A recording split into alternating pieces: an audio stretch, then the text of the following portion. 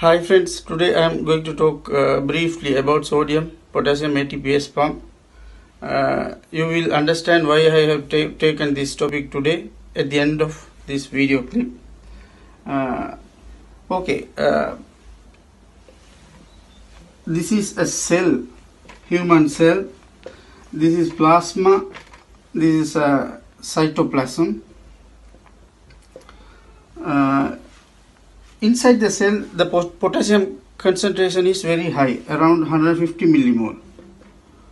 Uh, but sodium concentration is low very low around 30 millimole. Uh, in contrast the, the potassium concentration in the plasma is around just 5 millimole. Uh, but the sodium concentration is very high around 150 millimole. Relatively very high when compared to intracellular sodium the sodium concentration is uh, very high. So how this uh, electrolyte difference maintained? Uh, because uh, if if we left this electrolyte in this manner what happens so uh, what happened is sodium uh, try to leak inside because of the concentration gradient. The here 150 uh, the, here 30 so sodium try to come uh, to inside the cell by diffusion. Uh, similarly potassium try to leak outside the uh, uh, cell by diffusion because of this huge concentration gradient. But how this uh, uh, concentration gradient is maintained that is because of this pump that, that is called sodium potassium ATPase pump. uh, this uh, what this pump does is it pump uh, actively potassium inside the cell.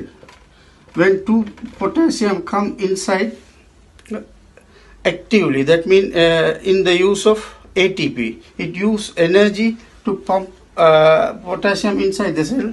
When it pumps two potassium inside the cell uh, it pump out three uh, sodium ions outside the cell that means into the plasma. This is how uh, uh, this concentration gradient maintained by which it uh, maintain the resting membrane potential of the cell.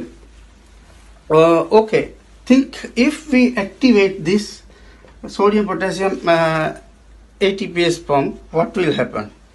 Uh, when when we activate this pump the you can see here the potassium more potassium come uh, inside the cell.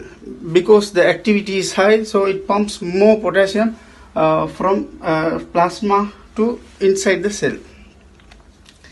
Uh, similarly it pumps out more sodium uh, from uh, cytoplasm to plasma this uh, this is what uh, exactly happen when we give insulin uh, to a patient with uh, hyperkalemia.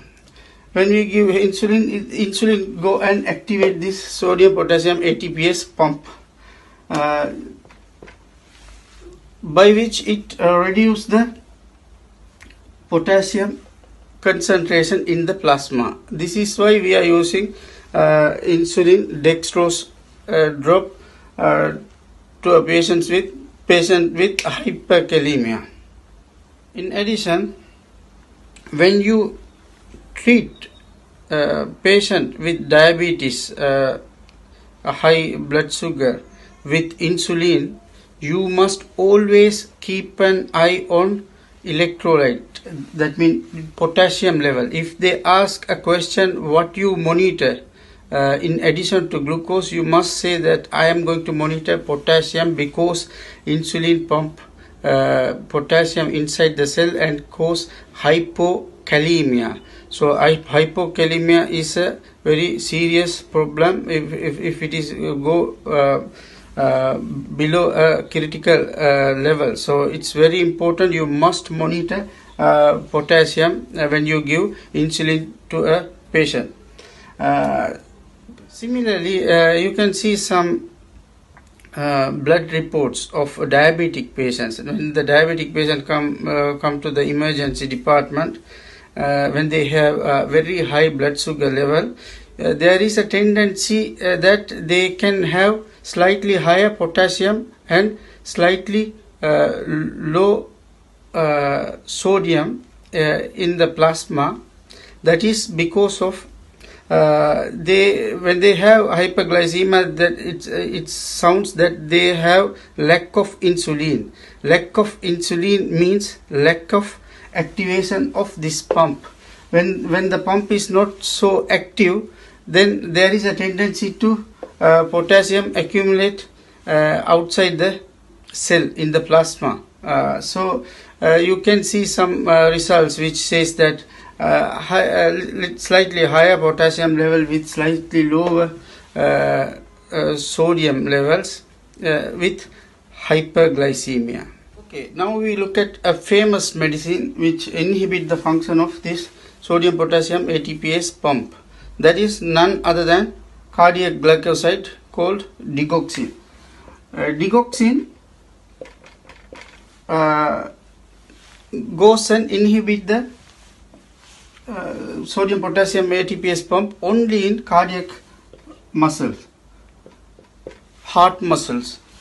So when uh, digoxin uh, go and inhibit the sodium potassium ATPase pump, uh, that means sodium cannot be pumped out of the cell. So sodium concentration inside the cell going to be higher this high sodium concentration in turn inhibit an, uh, there is another uh, exchanger here in cardiac muscle uh, only in cardiac muscles that calls sodium calcium sodium calcium exchanger this sodium calcium exchanger how uh, does it work?